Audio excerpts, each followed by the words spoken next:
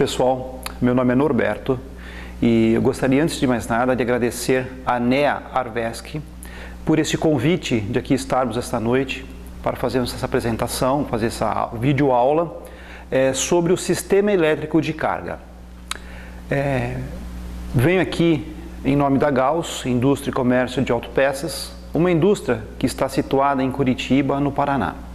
Uma empresa que já tem mais de 15 anos no mercado automotivo e a sua área de atuação é, é justamente na área de alternadores, ou melhor dizendo, reguladores de tensão, retificadores. Atuamos também na linha de injeção eletrônica, mas hoje a nossa aula será basicamente sobre sistema elétrico de carga. Então vamos dar início a ela. Antes de mais nada, por favor, desliguem os celulares. O alternador ele é um dispositivo eletromecânico que transforma a energia mecânica do automóvel em energia elétrica.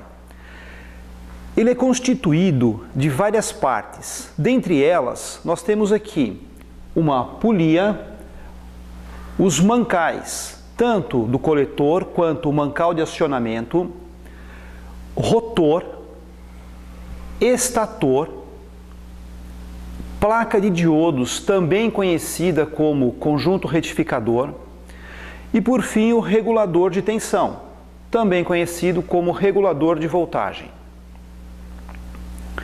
Para darmos início a essa nossa aula, vamos falar um pouquinho sobre corrente elétrica alternada e corrente elétrica contínua. A corrente elétrica contínua é aquela que nós temos na bateria do nosso carro, nas pilhas que alimentam os nossos equipamentos, na bateria do celular, do notebook, enfim. E a corrente elétrica alternada é aquela que nós temos na nossa rede elétrica, da nossa residência. A corrente contínua, ela não muda de sentido com o passar do tempo. Ou seja, o polo positivo é sempre o polo positivo e o negativo será sempre negativo. Já a corrente elétrica alternada, ela muda de sentido com o passar do tempo. Ou seja, na nossa rede elétrica, nós temos aquele polo que é a fase da tomada, ela é 60 vezes positiva e 60 vezes negativa em um segundo. Daí que se deu o nome de 60 Hz, que significa 60 ciclos por segundo. No nosso veículo, o alternador ele basicamente gera corrente elétrica alternada.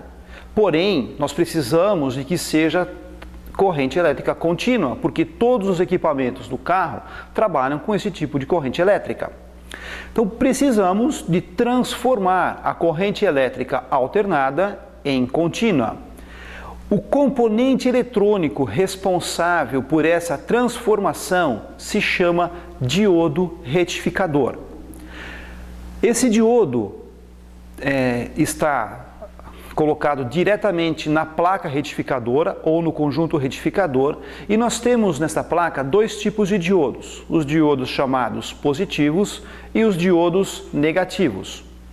O diodo positivo, por exemplo, ao entrar nele uma corrente elétrica alternada, ele permite com que saia somente a parte positiva desta corrente elétrica. Ou seja, só o lado positivo é que passa por esse diodo. Se substituirmos e colocarmos um diodo negativo, irá passar só a componente, só a parte negativa desta corrente elétrica, gerando eletricidade a partir de um campo magnético. Se nós pegarmos um imã, uma bobina e um multímetro, ao aproximarmos esse imã desta bobina, nós não iremos ter uma corrente elétrica. Nós não teremos a geração de nenhum tipo de energia. Por quê? Porque é necessário que este campo esteja em movimento, que ele esteja variando. Então, para que tenha uma geração de energia elétrica, é necessário que este imã, que este campo magnético se movimente. Ou seja, que ele, ele tem que variar. Com a variação, aí sim eu consigo ter a geração de uma corrente elétrica e de uma tensão elétrica também. Logo, Se nós pegarmos, fizermos uma bobina e aplicarmos a essa bobina uma corrente elétrica alternada, nós teremos um campo magnético também alternado, porque ele vai ficar variando de acordo com a corrente elétrica que está sendo aplicada. Horas, nós dissemos anteriormente que se um fio passar por sobre um campo magnético variável, será induzido nele uma corrente elétrica. Isso significa que, se eu fizer um enrolamento por sobre esse primeiro como ele está submetido a um campo magnético variável, eu terei também uma corrente elétrica alternada. Isto é o princípio de funcionamento de um transformador. Logo, se eu tirar esse enrolamento e fizer um outro enrolamento com muito mais voltas, com muito mais espiras do que no primeiro, eu vou ter no secundário uma tensão que a partir de agora eu vou chamar sempre de voltagem. Eu vou ter uma voltagem muito maior. Ou seja, a voltagem do secundário é proporcional ao número de voltas, a quantidade de espiras do nosso secundário, do enrolamento secundário desse nosso transformador. Onde que no carro nós temos algo parecido com isso? Na bobina de ignição, aonde nós recebemos aqui 12 volts e temos na saída aproximadamente 30 mil volts, que vai alimentar as velas de ignição do veículo. Por outro lado, se eu tirar esse enrolamento e fizer um outro com poucas espiras, notem que a voltagem também será reduzida. Mas nós temos uma outra característica importante nesse nosso transformador, que é o que se refere à potência elétrica. A potência ela é o produto da voltagem vezes a amperagem. A potência do secundário jamais poderá ser superior que a potência do primário. Logo, a potência que eu tenho aqui tem que ser igual a esta. Se eu colocar aqui a mesma quantidade de fio, de voltas e a mesma bitola, bitola do fio do secundário igual ao primário, eu terei uma voltagem praticamente igual à do primário, uma amperagem igual ao do primário e uma potência igual ao do primário. Se nós colocarmos muitas espiras no secundário, eu vou ter uma voltagem muito maior. Porém, como a minha potência jamais será maior do que a do primário, a minha amperagem obrigatoriamente é menor. A amperagem ela é proporcional também à bitola do fio, ao diâmetro do fio o qual, do qual é enrolado o secundário desse nosso transformador. Nesse outro exemplo, nós temos aqui, reparem, poucas voltas com um fio bem grosso. Então eu tenho uma voltagem pequena mas uma amperagem bem alta. Notem, a potência permaneceu inalterada. Recapitulando, a voltagem do secundário é proporcional a quê? Ao número de espiras. A amperagem do secundário é proporcional a quê? A bitola do fio a qual ele é enrolado. Onde que nós utilizamos isso então no nosso dia a dia?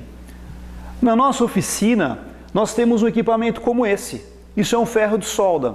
Se repararmos este rolamento com esse fio, com esse bem grosso que nós estamos vendo aqui, isso é o secundário.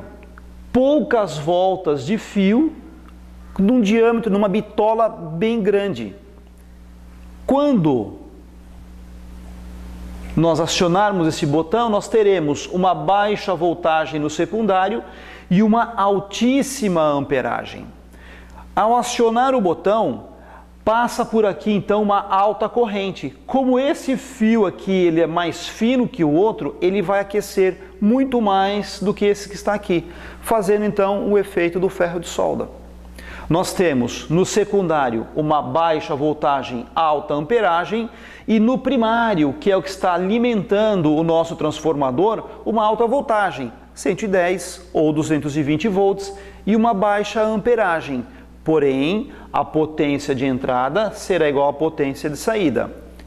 Se, por exemplo, este for um ferro de solda de 550 watts, eu terei 550 watts entrando no primário e 550 saindo do secundário. Puxa, e no nosso alternador? Como é que funciona isso? Bom, o alternador não é diferente. O alternador também é um transformador. Que nós temos um estator, no centro dele nós temos um rotor. Ao girarmos a chave de ignição, nós não estamos dando partida no veículo, nós só estamos girando a chave de ignição, aquele momento em que a lâmpada do painel fica acesa. Então vamos lá, ligamos a chave de ignição, nesse instante já temos um campo magnético ao redor do nosso rotor. Porém, é corrente contínua e ele não está girando. O campo está fixo, o campo não está variando. Logo, eu não tenho geração nenhuma de corrente elétrica. Para que a gente possa começar a gerar corrente elétrica, eu tenho que dar partida no veículo. Dei partida, o carro pegou. Nesse instante, no meu estator está saindo corrente elétrica alternada. São três fases defasadas de 120 graus uma da outra.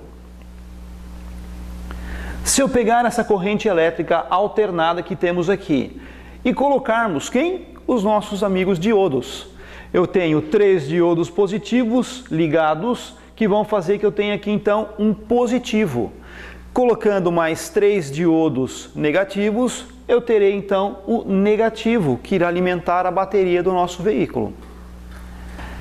Eu sei, vocês devem estar imaginando que, puxa, mas tem estator que tem uma quarta saída. Eu tenho aqui, olha, um terminal a mais.